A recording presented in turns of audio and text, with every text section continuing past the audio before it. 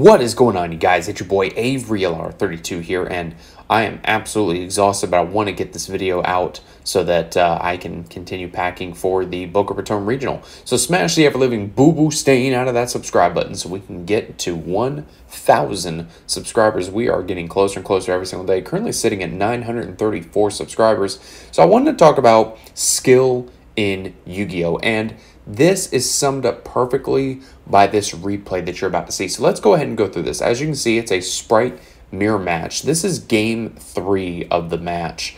And as you can see, I have side decked in a pointer of the Red Lotus. Really busted ass card, I might add.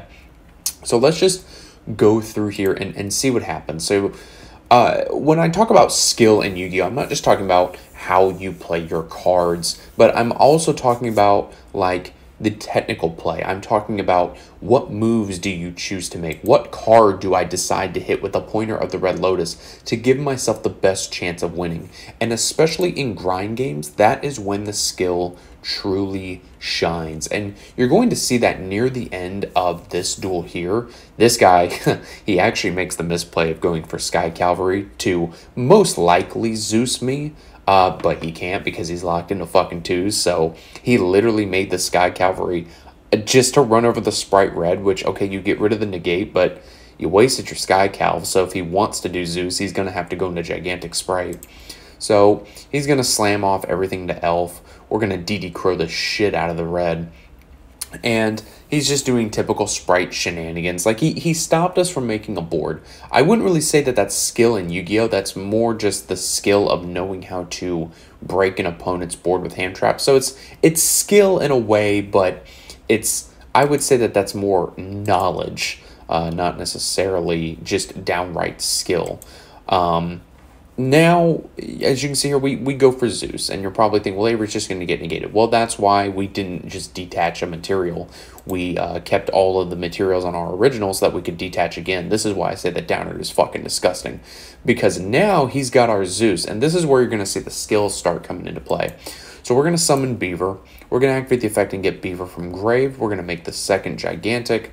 And we're, we're pretty much just trying to make our own Toadally Awesome here because Lord knows we need a fucking board at this point because we already know that he's got blue in hand and he's got swap. So we need to be able to do something. So I decided to take his pixies. Uh, I think I end up just linking off with it. Yeah, we just use elf to get uh, swap and make toad.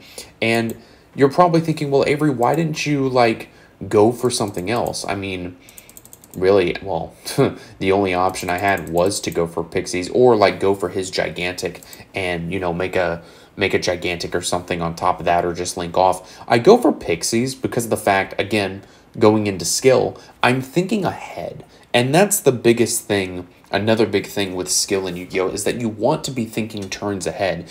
You want to be thinking, even while you're playing, you know, game one, how the fuck am I going to side deck against this Spright deck? How am I going to side deck against this Tearlaments deck, Flunder deck, you name it. Having this board set up, no matter what my opponent draws into, He's going to have a three card hand with a Zeus on board, so he's going to have four cards to his name minus uh, the Ronin, Totem, and Swap Frog. So we could even call it five cards to his name that he has to use to break my board without attacking. Because remember, if he attacks Elf or Toad, I can activate Pixies, send it from my field to his grave, and the monster he's attacking will gain attack points equal to the monster's attack. So he would have to attack Pixies first, eliminate that, and then attack over something else. And that may give me the turn that I need to survive. So let's go ahead and see what he draws here. So he draws on talents. He's going to go for Rodent Toad. And we're like, okay, that's cute. He's going to use blue. We're going to negate it. He's going to talents us, which is like, okay, I guess. I mean, we're getting Beaver for the follow-up, plus we're getting Toad back. So even if he talents, it doesn't matter. So instead, he actually goes for Elf to bait out our Toad, which is a good play. I mean, it's going to grab us a second Beaver. Now he's going to go talents to take our Elf and make a Gigantic at 32. And at this point, I'm pooping my pants because like all I have is a blue. And uh, now he's going to go for Jet and get Smasher. This is the big creme de la creme play here, ladies and gentlemen. So we draw into Ash Blossom. Now I want you to pause the video and I want you to take a moment to look at the board here. How would you break this board? Because we're, we're coming up on, on finishing up the game here. He's got a Smasher that's online. Uh, He's got Elf. We've got Ash and Double Beaver. Uh, and we've got Blue. So actually, you know what? Let's go ahead and play this out because he does use the Elf to go for Toad. So I'm going to flip the Blue, and I figured as soon as I made a play, he was going to use it to get Toad, and that's fine. So now this is actually the big portion here of where we start to seal the game. So he's got a Toad online, that's going to be a negate and a smasher. So we're playing through two interruptions. The elf's been used. Pause the video right now and you tell me how you would play through this. Here's our extra deck. This is everything that we've got to work with. Okay. And then here is our graveyard. We've got a swap and Ronin lined up with a Toadally Awesome in grave. So go ahead and pause the video and tell me what you would do. Okay. Are you back? Here's what I ended up deciding to do. So we go ahead and go Rodent Toad. I'm trying to bait out a Negator the Smasher here. I end up summoning the elf, and I actually wait here for a minute, and I'm trying to decide what's going to be the way that we break this board and hopefully get him to use up the Smasher. I end up summoning Beaver and activating the effect. And my reasoning for this is that if he negates with Toad, we still have the elf lined up just that we can shotgun at any point because if he uses the toad to negate the beaver, he almost kind of has to because we have a beaver engrave. So we can go anything into our extra deck or hell, even use like elf or even both beavers to go into like Masquerena and make access code. Like we, we have plays that we can make. So I, I end up going for beaver and he does shotgun the toad. There is no way I'm going to wait to use Elf. I'm going to instantly chain Elf here to go for the Toadally Awesome. And if we actually do it step by step here, you see that he activates Smasher. And in my mind, I'm thinking in the words of Valley D, there's no shot. like, there is no chance that he doesn't use the smasher here to hit my elf because it's still going to resolve off board. But he knows if he doesn't use it now, that he's never going to get to use it because now I've got Toadally Awesome.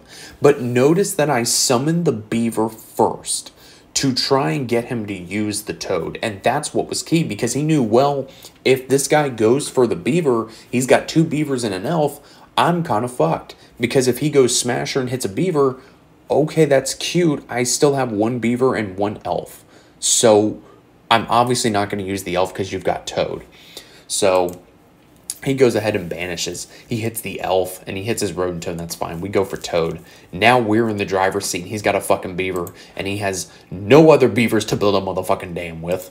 So now he's going to send back the Toad, which is like, fine, whatever. You take 800. I'm sitting on an Ash and a toad. So now I'm the one in the driver's seat with two negates. I'm like, bitch, you out of the driver's seat. We're the one driving this car now, bitch. And sure enough, what does he do? He draws into a D shifter and he scoops because he has no plays. He's got nothing in his grave. And had I played out that turn differently, had I decided to go elf, use the effect of elf, and like try and revive something just to bait out the negate of Toad. Like I'm losing the game and then they still have Smasher. And this is something that I feel like a lot of people that hate on modern Yu-Gi-Oh! don't necessarily see these moments of technical play or these more advanced lines of play when they just say, you know, oh, modern Yu Gi Oh sucks. I'm going to go play old school Yu Gi Oh because in old school Yu Gi Oh you do have a lot of those things. You have things like mind games and you know different ways to try and you know outplay the opponent.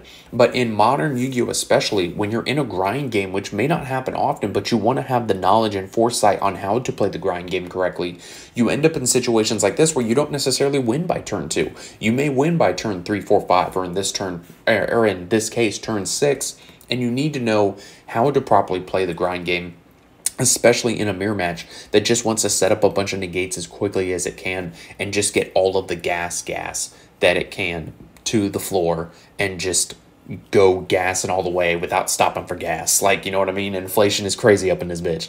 So, ladies and gentlemen, let me know what you think about this replay down in the comments. Do you think it was skillful? Do you think it was more luck?